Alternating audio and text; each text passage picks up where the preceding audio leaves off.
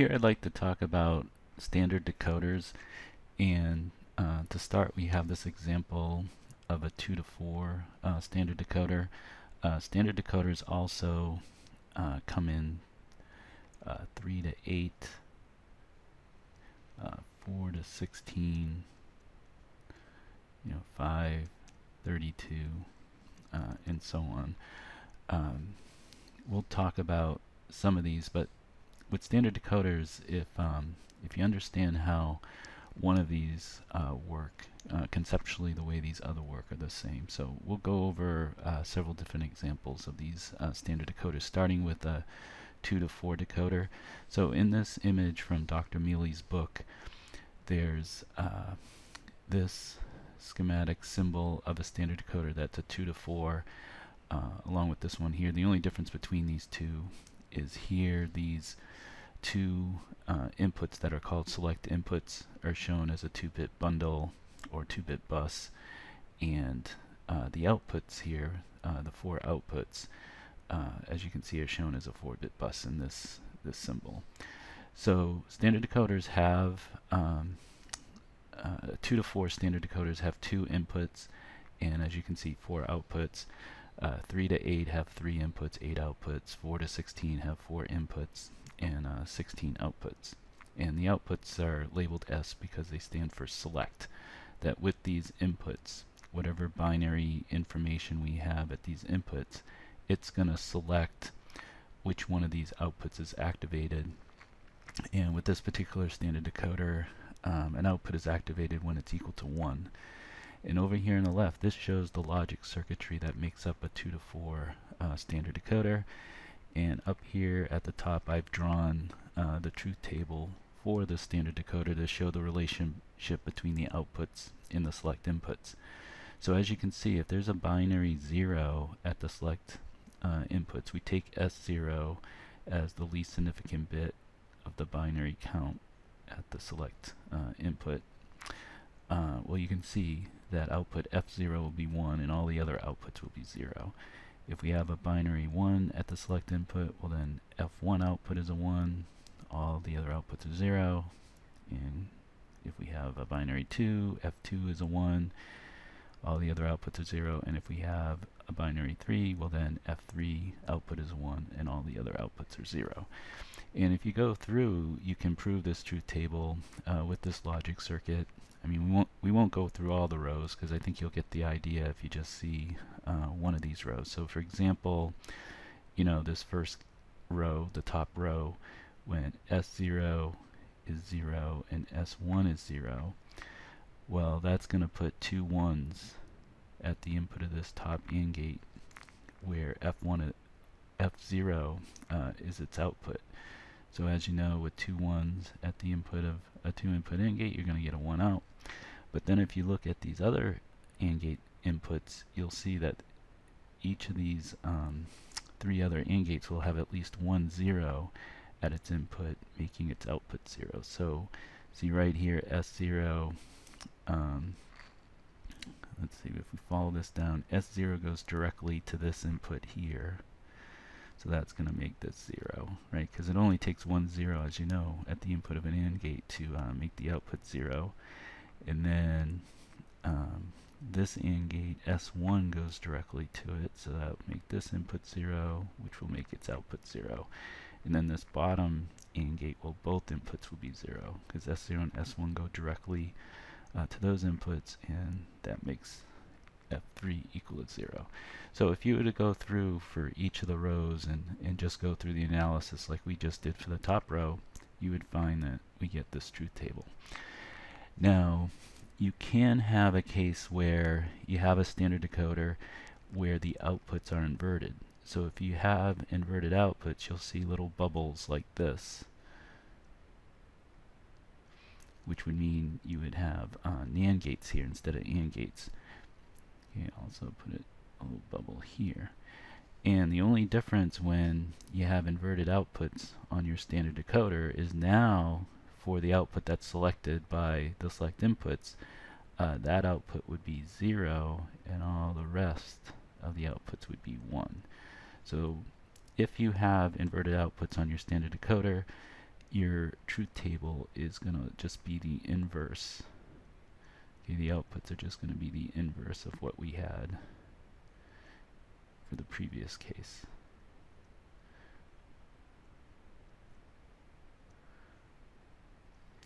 Okay, so that's uh, how standard decoders work. Now, the only difference when you have a 3 to 8 is that you'd have three select lines and uh, 8 outputs. You know, 4 to 16, you'd have four select lines and 16 outputs. And again, it's just going to be one output that's activated. You know, one output is going to have either 1 with all the other outputs equal to 0, or if it's got the inverters, one output's going to have a 0 and all the rest of the outputs would be 1 in that case. So let's see a couple of examples. Um, these are from Dr. Mealy's book. Um, in this, these examples here uh, not only uh, give us some practice with how standard decoders work, but also some more practice with timing diagrams. Now I think this is the first time we've seen this in the class where in a timing diagram there's this notation 0 x.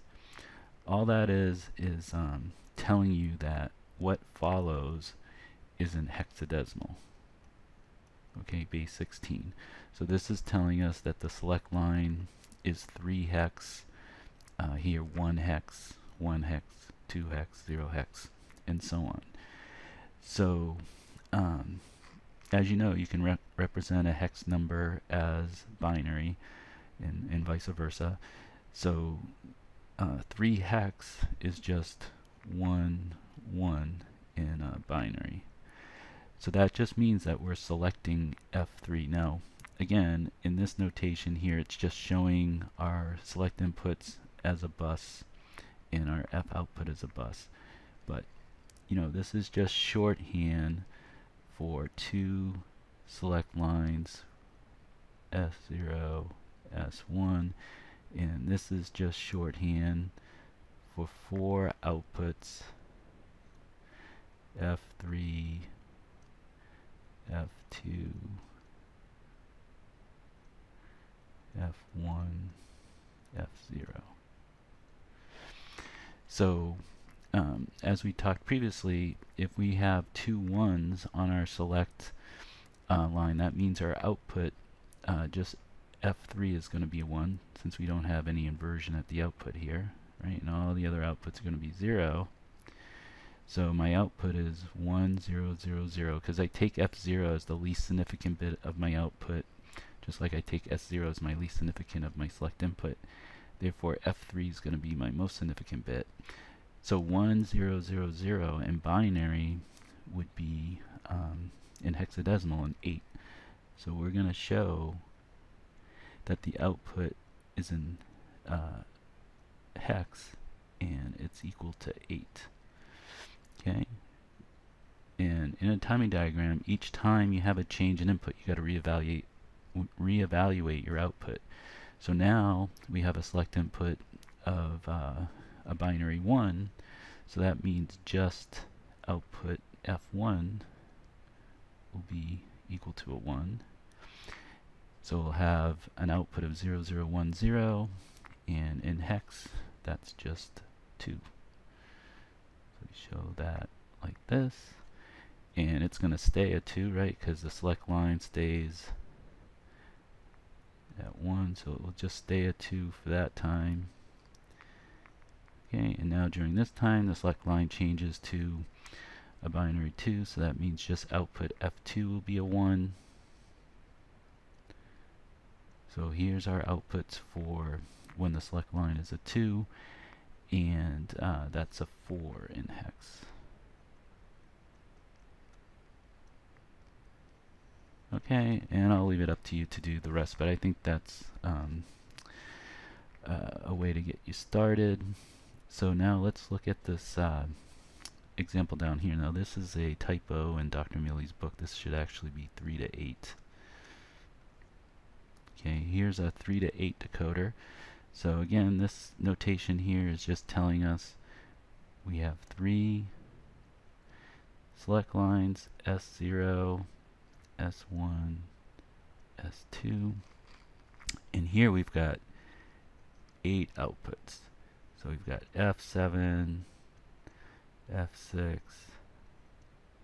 F5. Uh, actually, let's draw them over here. We got F7, F6, F5, F4,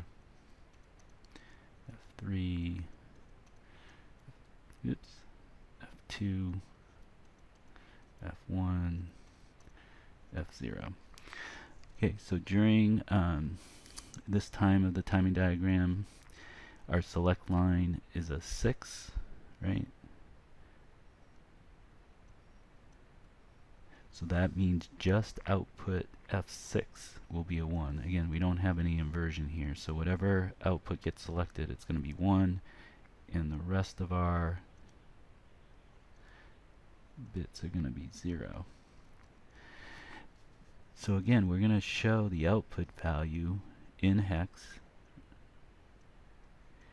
And as we talked about earlier in the class, uh, when you have a binary number, you can quickly convert to hex by grouping that binary number in groups of four and then writing the hexadecimal character for each group of four.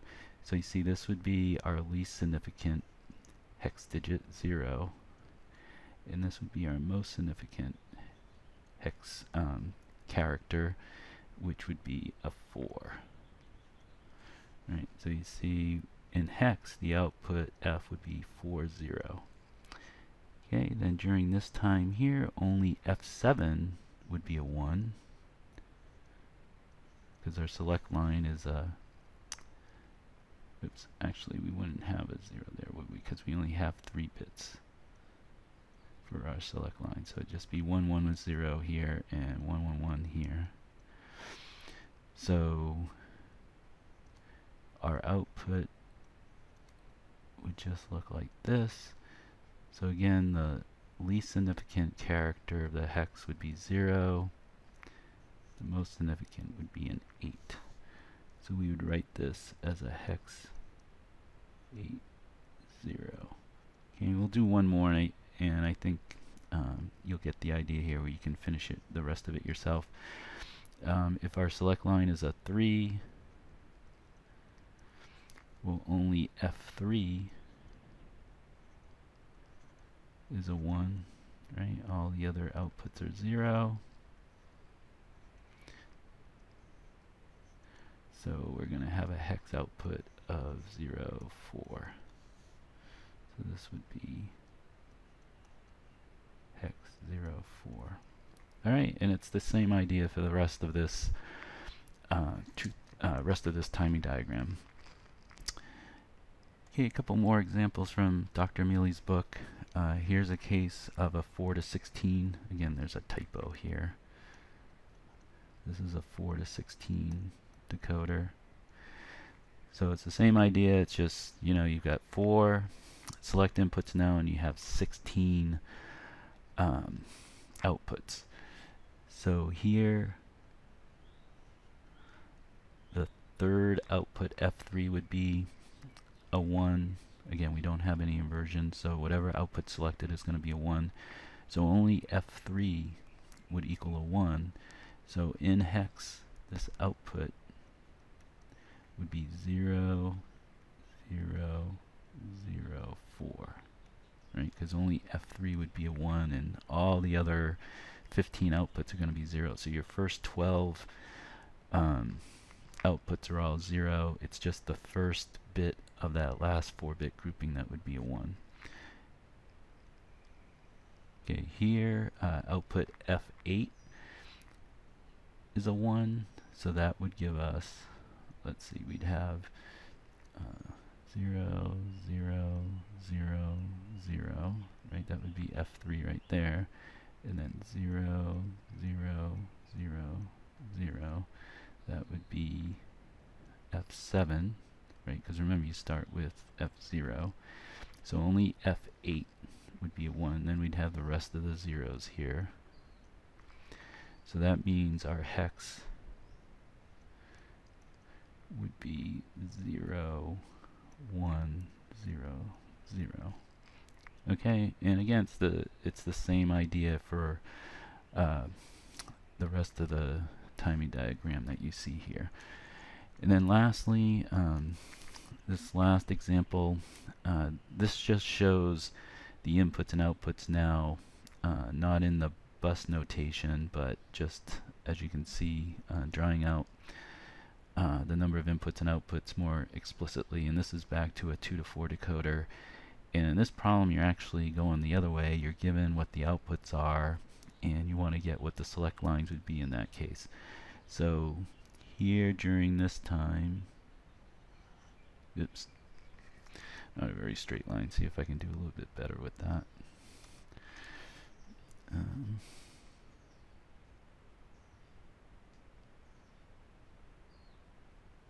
a little bit better.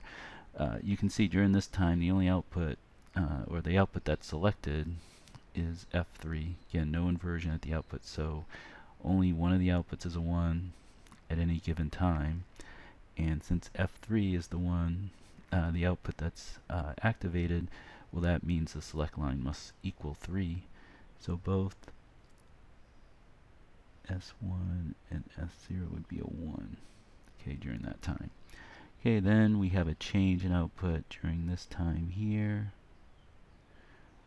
Okay, where now F1 is selected, so that means your select line has to be a binary 1. So S1 would go to a 0, and S1 would stay a 1. Okay, and then during this time here, okay, um, F2 is selected, so we have a binary 2 at the select line, so that means S1 would be a 1 and S0 would be a 0. And again, it's the same idea for uh, the rest of this timing diagram.